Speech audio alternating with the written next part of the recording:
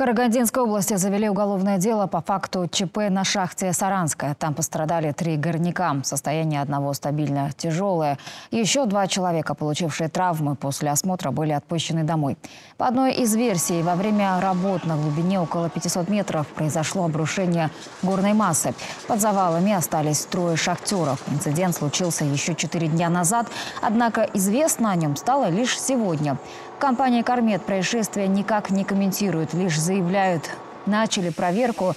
36-летний мужчина сломал два ребра, он сейчас лечится дома. Второй пострадавший получил незначительные ушибы и после осмотра вернулся на работу. Больше всех досталось 41-летнему горняку. У него открытая черепно-мозговая травма и сломана ключица. Поступил больной с множественной политравмой. Оказана вся необходимая медицинская помощь, проведены оперативные вмешательства. В настоящее время состояние больного тяжелое, стабильное. Получает дальнейшее лечебное мероприятие.